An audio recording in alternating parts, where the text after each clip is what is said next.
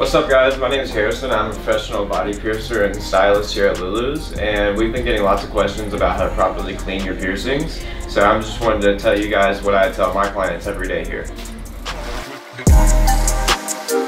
Alright, so if you are my client right now and you just got a ear piercing or any other piercing really, any, any uh, ear or cartilage piercing, it's going to be the same general cleaning. Um, so mostly it's just going to be twice a day, once in the morning, once at night with saline wound wash. It's going to be in kind of a bottle like this if you want to get some. The link is down in the description below.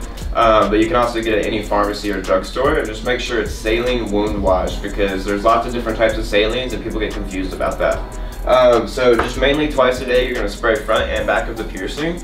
And every once in a while, if you see some gunk on there, that's totally normal. You can spray some saline on a Q-tip and gently get that. Just try not to move the jewelry too much. And another big thing is also uh, never touch it with your hands, never hit it or pull it, also try not to sleep on it. Just be very gentle with it in, in general during the first couple months of the healing process. So another thing is I always say less care is the best care. So you really only need saline. You don't have to do alcohol or peroxide, anything like that. That stuff usually tend, tend to be too harsh you want something very gentle to clean your piercing with. Side, um, no crazy oils, anything like that, just saline twice a day. And um, also trying to sleep on it, just be aware of it throughout the day. Even if you're like showering, taking your clothes off, any loofahs, anything that's gonna hit it or snag it is gonna be a problem. Another thing is uh, what to expect with your new piercing is you're gonna get some swelling, that's totally normal. Um, every once in a while while it's healing, you're gonna see some gunk and that's totally normal as well. That's just um, like plasma and it's, it's kind of like a scab. You'll see it from time to time, you can just gently get that off with a Q-tip and saline.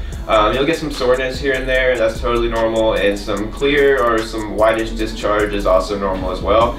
Um, if it ever gets to be anything more than that though, that's what we're here for. You can always call us or come by and we'll help you out with that. So if you have any questions, be uh, feel free to drop into the comment section. We might answer it in a future video for you.